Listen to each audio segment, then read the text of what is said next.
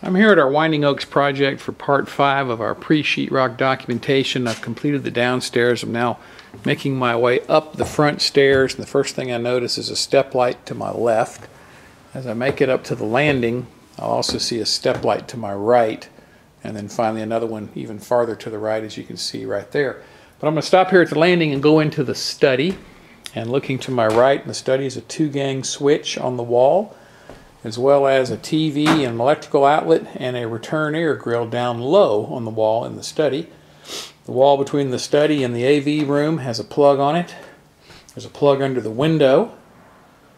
And then there's a switch next to the window, to the left of the window. And then there's a little alcove here that's going to have a built-in desk and it's got a plug. That plug may need to be raised up. I'll have to check on that. And then there's a wire hanging there which is supposed to be for um, under cabinet lighting because it's going to have an upper cabinet, but that's got to get changed to low voltage. And that's probably what that switch is for right there.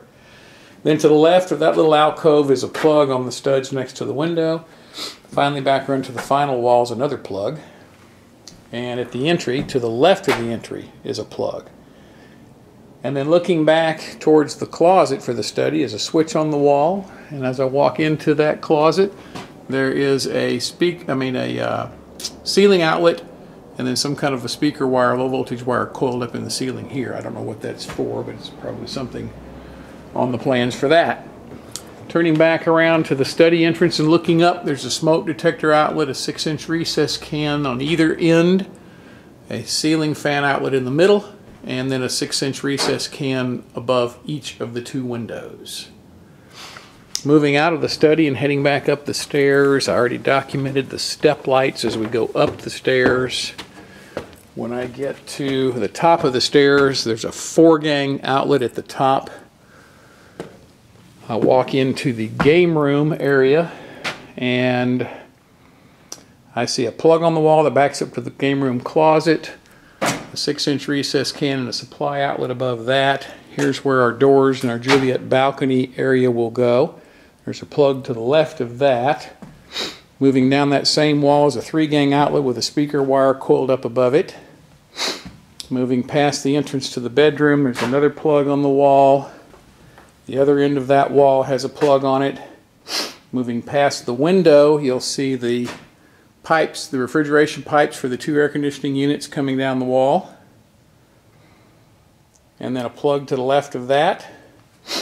And then moving over to the last window on that same wall, there's a plug directly below the window. And there's the window in the corner on the next wall and a TV and a plug on that wall. As I move around the corner past the stairs to the storage area is another plug. I'll catch the storage area while I'm here. Walking up the stairs to the storage area, there is a switch on the right which goes to this light outlet. And then the rest of this is just attic storage as you can see and there's another light outlet at the other end right there. Back into the game room as I walk back towards the entrance to the game room, I have a plug on the wall and a one gang switch on the wall that backs up to the stairwell. As I look up towards the ceiling from the top of the stairs, I see a six inch can here with a smoke detector outlet. Just past the smoke detectors, an alarm outlet, another six inch recess can, and a large return air with a six inch recess can next to it, and a doorbell outlet. Moving back towards the other part of the game room is a supply register and a six inch recess can. Walking down towards the outside walls, another six inch recess can, my smoke detector outlet, and then in the big area of the game room, I've got a total of four six inch recess cans. One, two, three over there, four here, another large return grill, two supply grills, just flanking inside each of the outside windows, as you can see. In the center is the ceiling fan outlet, and then I've got some speaker wiring here. This one between the two recess cans along the same joist, and on this side of the room there's this one in between the two recess cans along the same joist. Turning back around towards the bedroom that's right off the game room, as I enter the bedroom and look to my left, is a two-gang switch outlet. There's a plug outlet on the next stud over. Moving down that same wall is another plug outlet Moving around past the windows on the outside wall is a plug outlet close to center. Over towards the bathroom is a plug outlet on the stud next to the tub.